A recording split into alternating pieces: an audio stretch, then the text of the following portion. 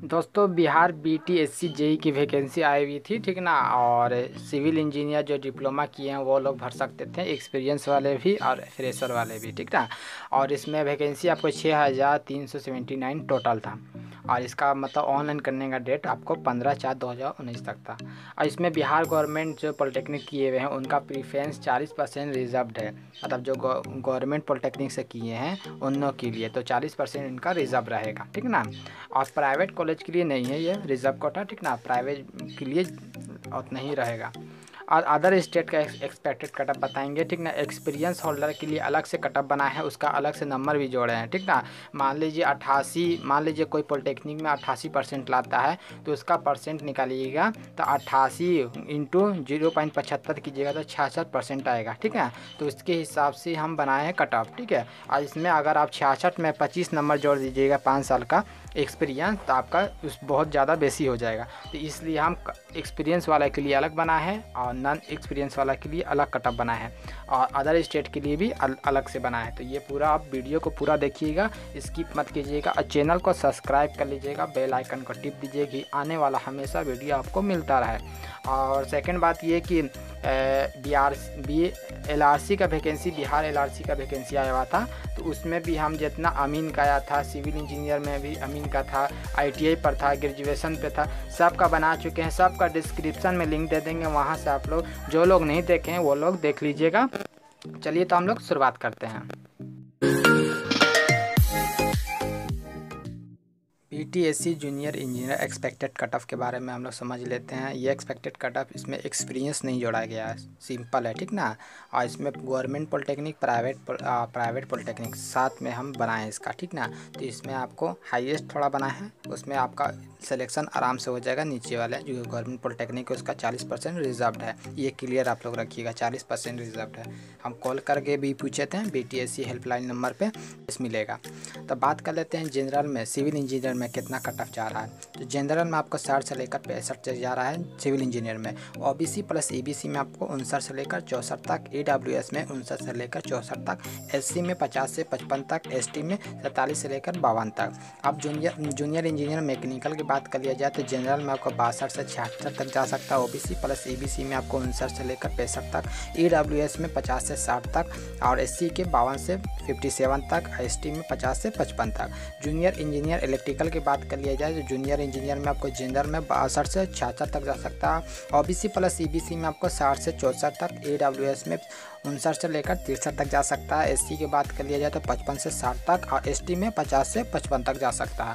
ये expected cut off है, ठीक ना? आगे पीछे हो सकता है दोस्तों। और देखिए, इसमें आप सिलेक्शन आराम से हो जाएगा इसमें, जिसका जिसका है, ठीक ना? और आगे हम जो बात करेंगे, ये एक्सपीरियंस होल्डर जो 50 पर 50 मान लीजिए ऐसा नहीं है कि पाँच साल एक्सपीरियंस का नहीं होगा। बहुत सारे स्टूडेंट ऐसे होंगे जो पाँच साल एक्सपीरियंस होल्डर हैं, जो अभी कर रहे हैं या कर चुके हैं, बिहार गवर्नमेंट से। तो उनका अलग से हम कटअप बनाए हैं तो वो भी आप लोग देख लीजिए। Friend B T S C experience holder के लिए हम बोले थे एक्सपीरियंस होल्डर के लिए अलग से कटअप बनाया। जो है मान लीजिए मान लीजिए अट्ठासी परसेंट लिया है। एक्सपेक्टेड मतलब अट्ठासी बहुत कम ही का आता है।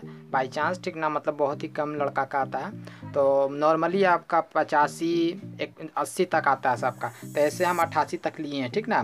तो अट्ठासी मान लीजिए परसेंटेज है तो उसका पचहत्तर परसेंट निकालिएगा तो आपका आ जाएगा चौंसठ लगभग चौंसठ परसेंट आएगा, ठीक ना?